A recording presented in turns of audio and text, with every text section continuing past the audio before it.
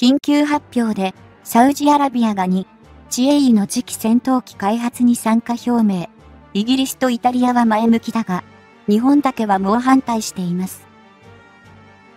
今回は、この日本が反対しているサウジアラビア参加ではなく、防衛装備移転3原則に注目して、詳しく深掘りしていきます。サウジ参戦なら、日本は独自で開発目指す方がいいでしょう。思い切って X 通信新に XF9 で量産が早いよ。無人機開発にシフトで。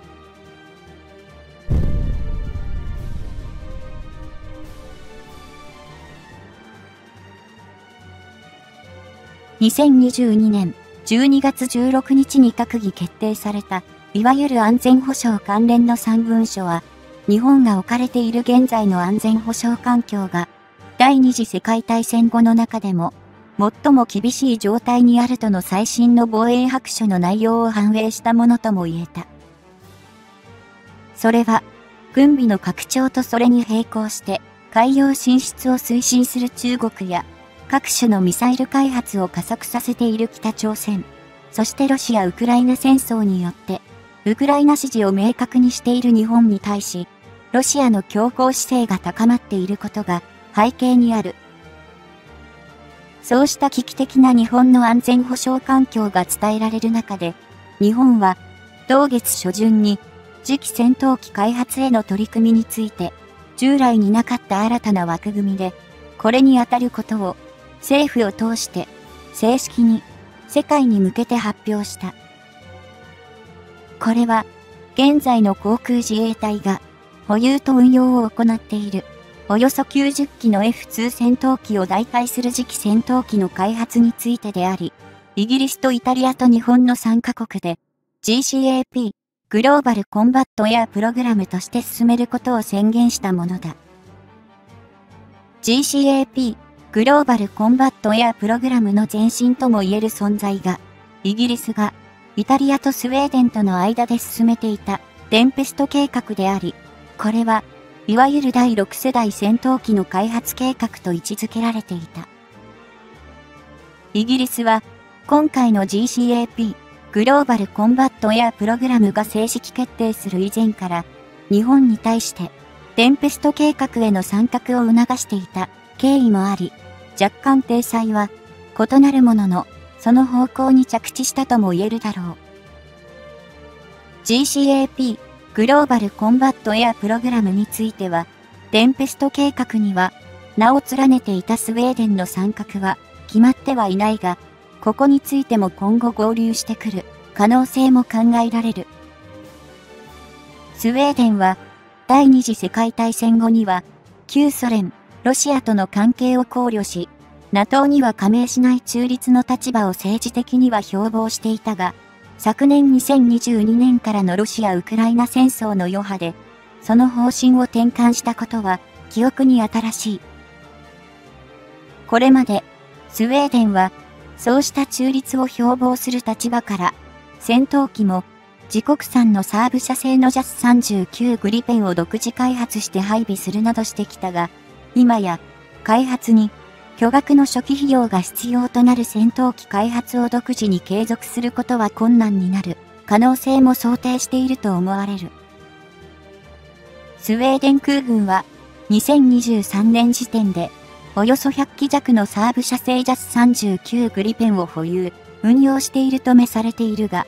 同機は自国内に止まらず、南アフリカ、ブラジル、チェコ、タイにも輸出され、総数では300機ほどが生産された機体である。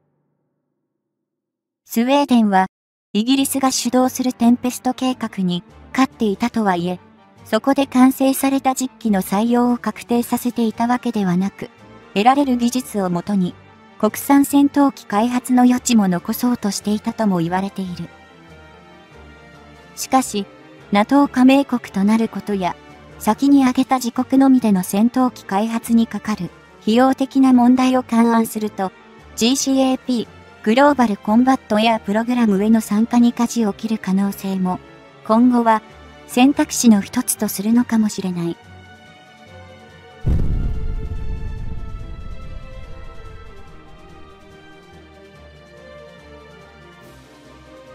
現在、西側諸国では GCAP グローバルコンバットエアプログラムの他にもフランス、ドイツ、スペインが推進している FCAS、フューチャーコンバットエアシステムや、アメリカの NGAT、ニュージェネレーションエアドミナンスが存在している。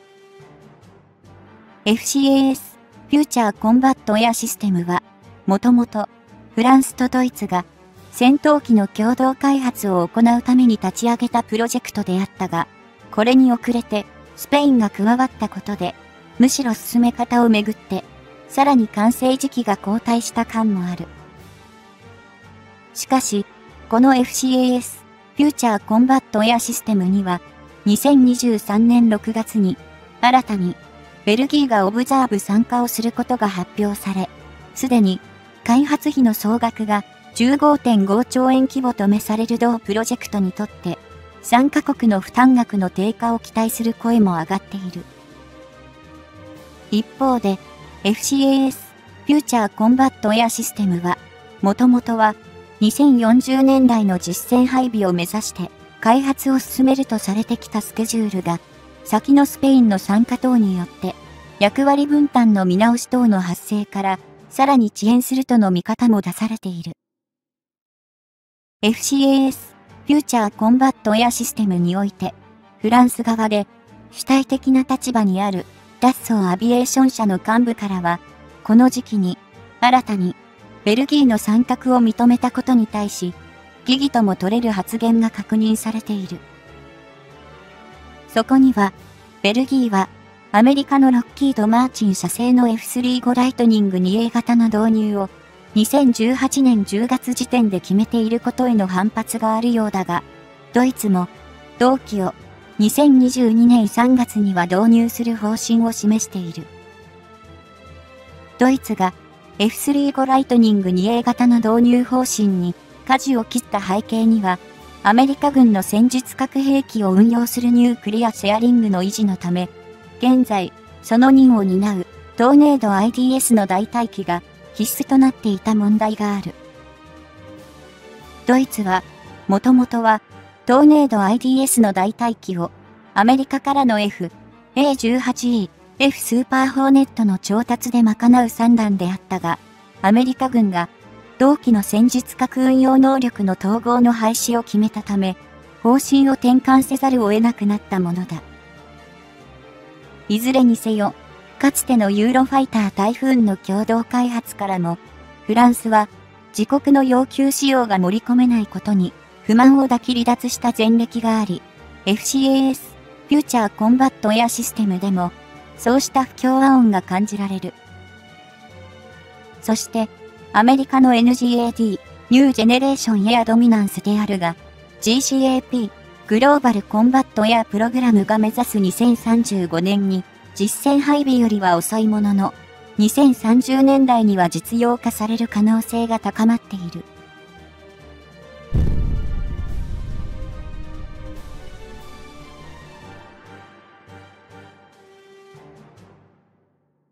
アメリカの NGAD、ニュージェネレーションエアドミナンスは、それまで進捗状況がほぼ不明だったにもかかわらず、2020年9月には、時のアメリカ空軍次官補が、すでに試作機がテスト飛行を行った旨をコメントした。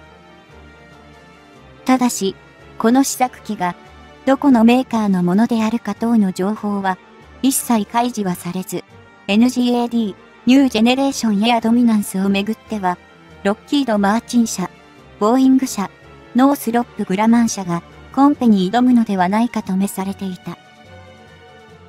しかし、この2023年7月、ノースロップ・グラマン社の幹部は、